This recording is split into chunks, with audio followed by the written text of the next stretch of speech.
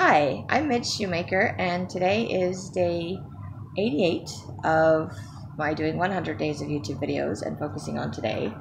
I'm sorry, I've got my phone plugged into my charger and I'm trying to figure out how to hold it and seeing the light behind me. I was like, ah, oh, it's blinding me. Actually, it's probably blinding you, so it's blurring me. But anyway, I apologize. I will probably move this around a little bit um, today. I feel like I'm sideways now not very good at holding my phone, but it's plugged into my charger because my battery's dying, and I really want to do my video so I could just go to sleep. But my battery's dying because I was talking to my friend on the phone for like hours and hours, and then her phone died, and then she called me back, and then her phone died, and then she called me back, and somehow my phone didn't die that whole time, which is nice, except that now that's you know too low to do a video.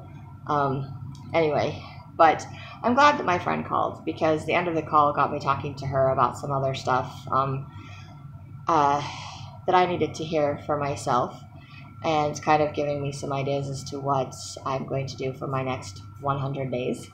Um, probably something that I need to do, but I'm not talking about it yet because one, I'm not there, and two, I think I'm trying to find an excuse not to do it, but it's probably not going to work. So that's just me.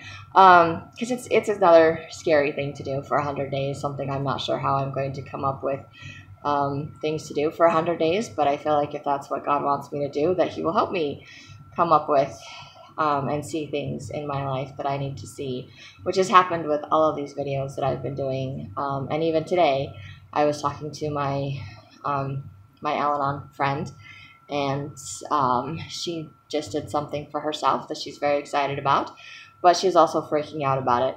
And so she was calling me because she was freaking out about it. And I totally get it because I do the same thing. I do something new, which is good and it's positive, but it's still uncomfortable.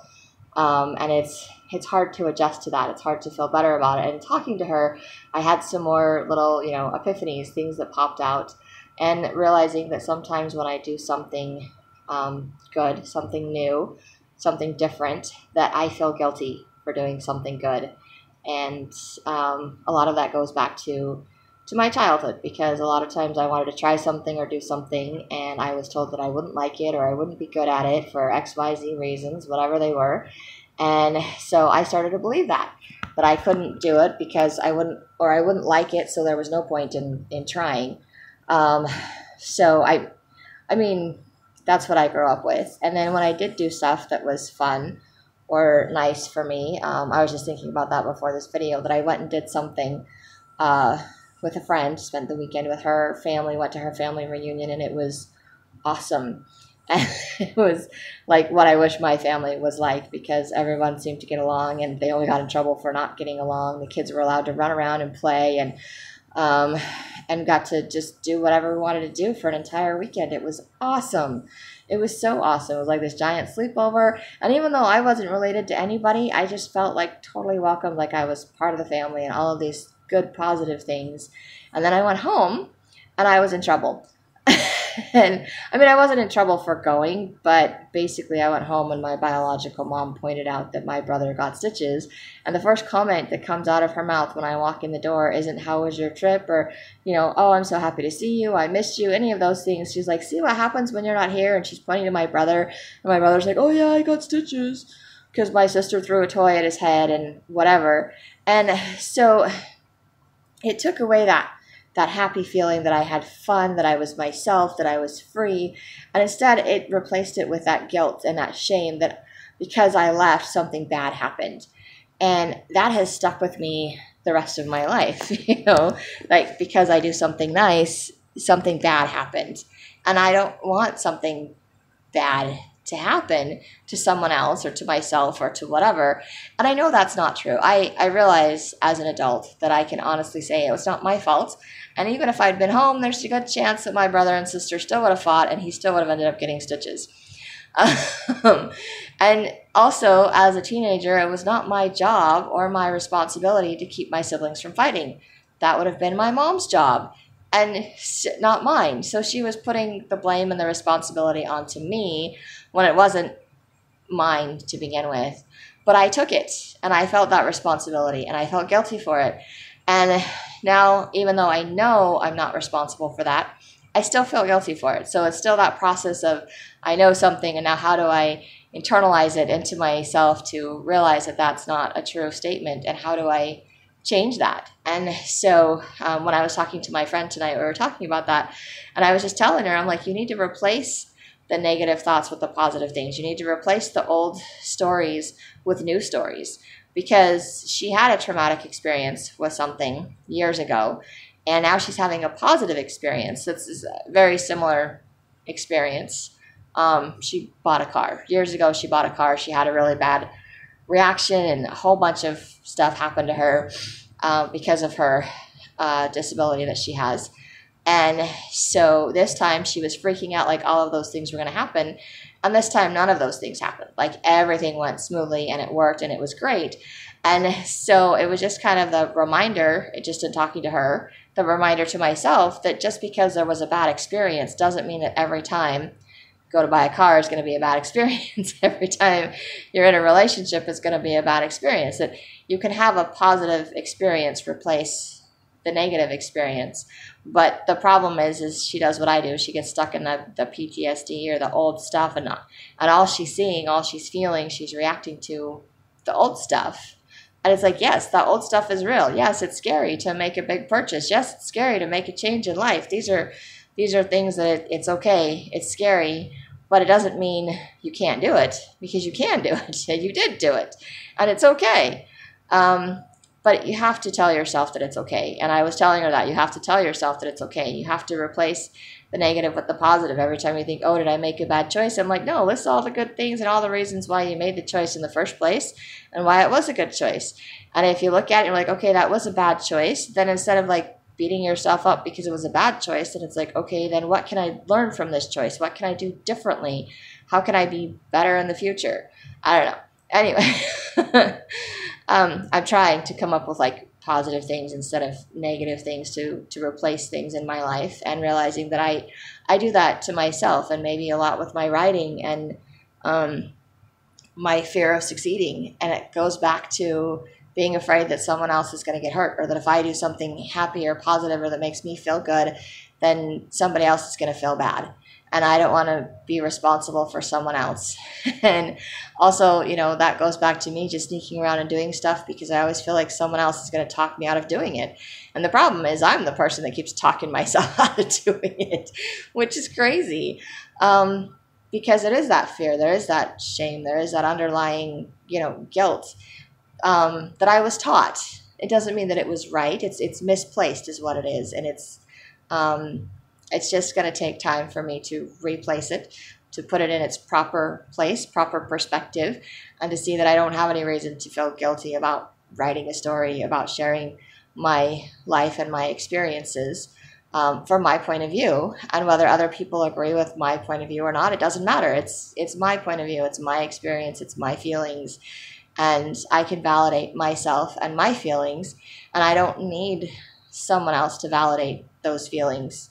Um, I do need other people to like read my book and help me figure out how to word things in a way that makes sense and not repetitious and whatever things like that as far as improving my writing.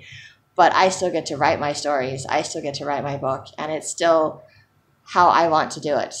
And if you know and i'm sure there's some readers or some people out there that will read it and totally see and totally agree with what i'm doing. And some people out there that will be like no this is messed up you know? And some people that have never been in an abusive situation are going to be reading that going oh my gosh.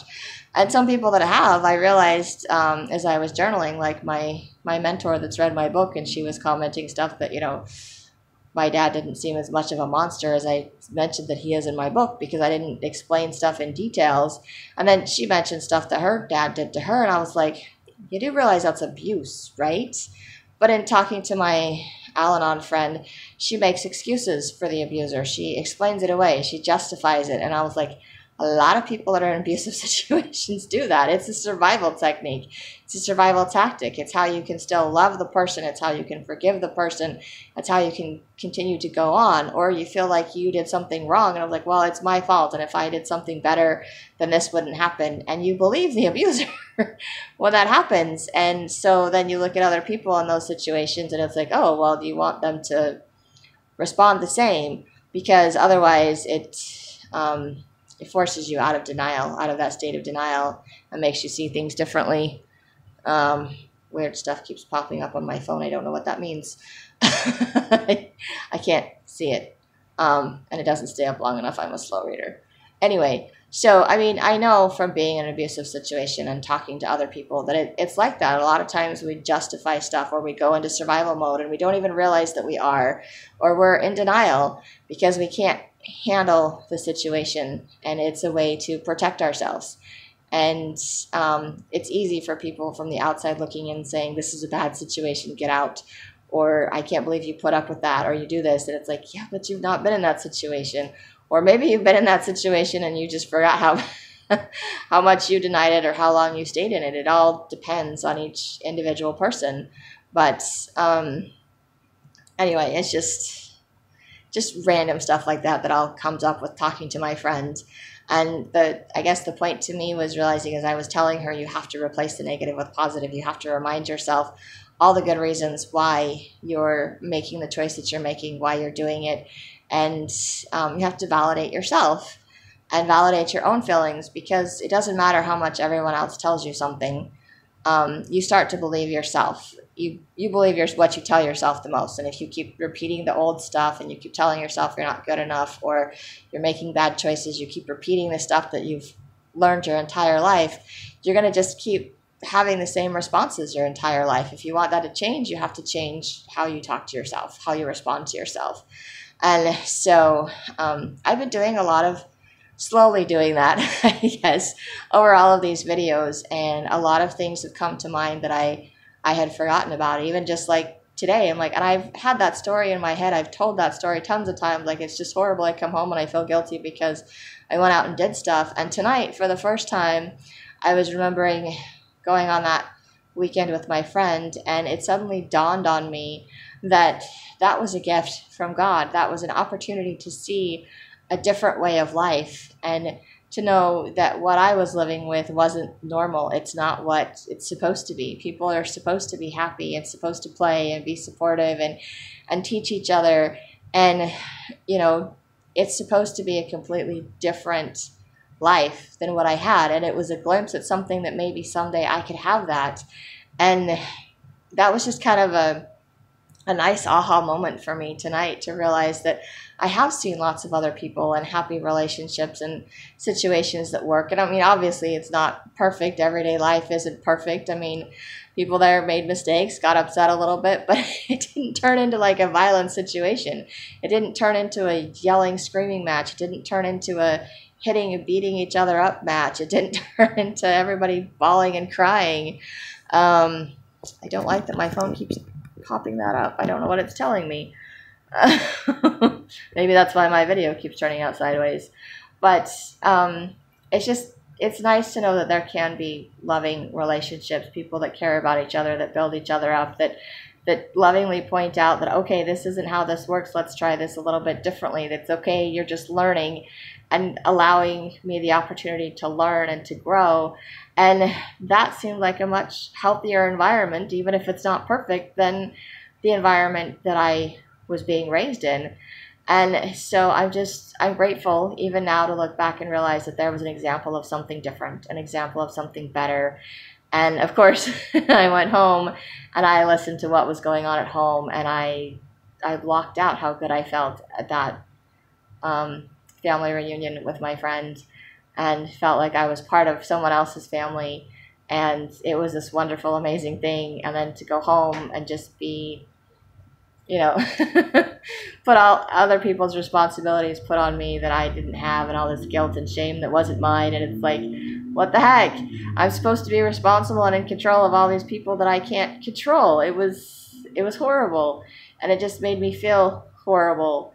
And I had the choice and I have the choice now to what kind of family I want to have, what kind of future relationships I want to have. And just very grateful to know that there's something better out there than what I've experienced and I don't have to continue to repeat the crappy to try to make it better. I can just go have something nice to begin with. Um, I can have something better, like my friend who's been running around in an old car that's been falling apart, and it's she's having to keep repairing it. And she finally went and bought something brand new that's so much better than what she had, and she doesn't have to deal with all of the drama and trauma that she was having with the old car. And I could do that with my life. I can get something new. I can make something new of my life. I can make something different. It doesn't have to be what it was before. I can change that thought process. I can tell myself that I deserve something better. I can work towards something better. And I can remind myself that it's okay to have something better, that I'm not hurting someone else because I'm succeeding. Um, and if someone else is getting upset about it, I don't have any control over their feelings and or their jealousy or whatever else it is. And I'm not really the one that's causing that. That's just that's on them, and they need to deal with their stuff. Um, and that's easy for me to say. That's not easy for me to do. And at this point, I haven't had anybody come to me and tell me that I shouldn't write my stories or shouldn't write my books. They're all telling me all these wonderful, fabulous things, and they're excited for me to finish. They're excited for me to publish.